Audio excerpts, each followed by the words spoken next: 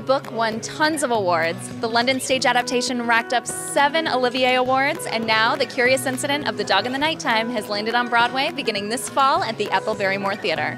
What makes this story so gripping? We're here at their Midtown rehearsal space to solve the mystery. I gotta know, what is The Curious Incident all about? Tell me about that. Well, a dog was murdered with a pitchfork. So, a 15 year old boy, a young boy, uh, has to solve the crime. And his teacher tells him that he should write a book about his detective work. He's a kind of peculiar guy, Christopher. What are some of the, you know, kind of interesting things that he does?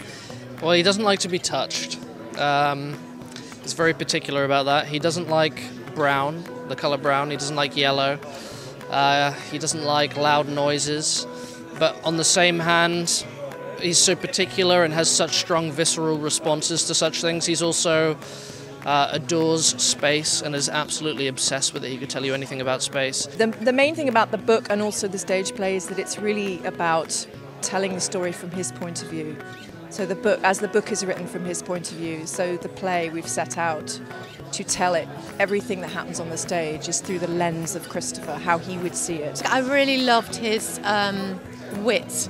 He's a very funny character, and I loved the way that he uh, was so refreshing in his uh, view of things. So it's a very delightful read.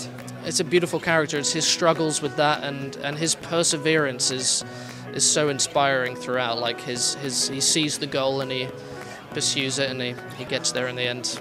Maybe. You have to come and see it. Why do we need a good mystery on Broadway right now? We want to solve the crime, don't we? I mean, yeah, we want to know what happened. We want to we want to figure it out.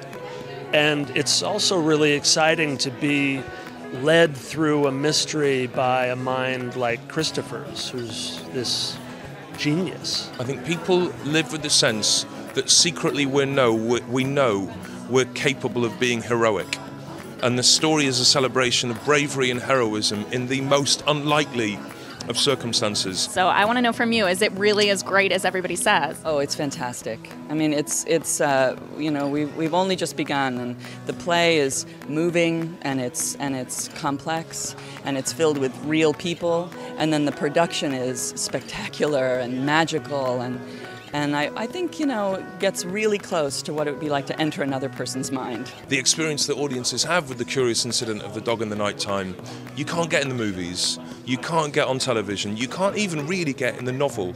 It's a unique celebration of the remarkable things that people are capable of. Nobody's just a good guy or a bad guy. Um, there's, there's great range, and it's very honest. It's very real. It's like you're, you're in for a, a special ride when you, when you come to the show.